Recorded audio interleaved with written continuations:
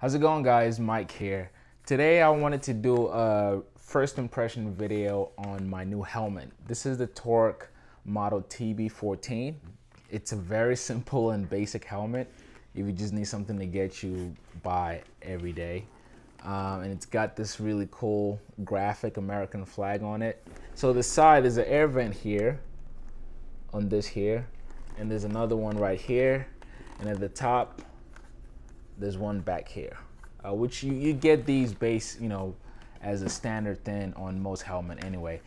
I love how with the Bluetooth uh, feature, you can't see any wiring inside. I've seen some helmets where, you know, the wires are exposed or you have to use them externally. Uh, but with this helmet, everything uh, is pretty cushioned in. Uh, one thing I do think is a little wacky is how you charge the Bluetooth. It's all the way in here and you, you have to like take this padding off and you know the the socket is in there. Another downside i think for the helmet specifically for the bluetooth uh, is the speakers. They're not the best but you know for me i most of the time 99% of the time i use the bluetooth for navigation. Um, more recently i've been using it for music. The way you're able to to make sense of it is the audio is not so loud so whenever you're riding you need to pay attention to the road anyway. So for me even when i turn on my music i'm still able to hear the road noise and, and i'm still able to, to pay attention to, to my environment. Another cool thing like i said about the wiring as you can see some helmets uh, i mean some bluetooth helmet you have the mic like sitting right here and here and it's exposed whereas this it's all tucked in. Another feature I think is much different is this, the visor. Uh, to open, this feels a lot more um,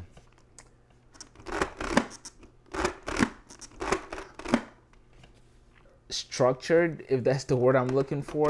You get another extra sunlight shade here, as you can see.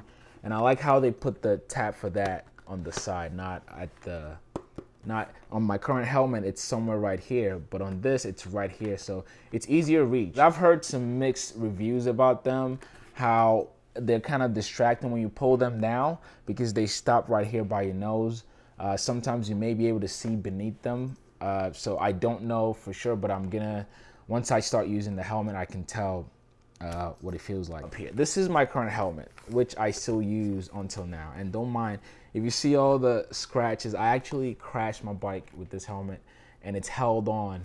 Um, so it's it's the thing is, if when you buy a helmet, you know, obviously you want to read uh, good reviews and hear people, other people's experience with them. But for me, TORC has been tested for me because again, I've been in an accident with it and it held up. Like it, it saved my life. When I bought this, this this came up to about two two thirty or two twenty. Um, this current helmet, and this this was one eighty nine plus tax.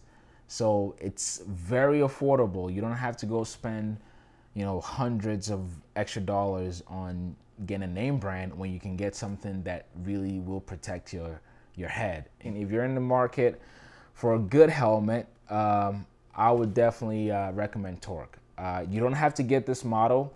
I just got this model because I like the, the look and the finish of it. I'm gonna keep you guys posted. Uh, I'm gonna start riding with this tomorrow, tomorrow or so, and I'll let you guys know how it holds up. But for now, hope you guys enjoyed the video. Please give a thumbs up if you did, and subscribe if you haven't. I'll catch you guys next time.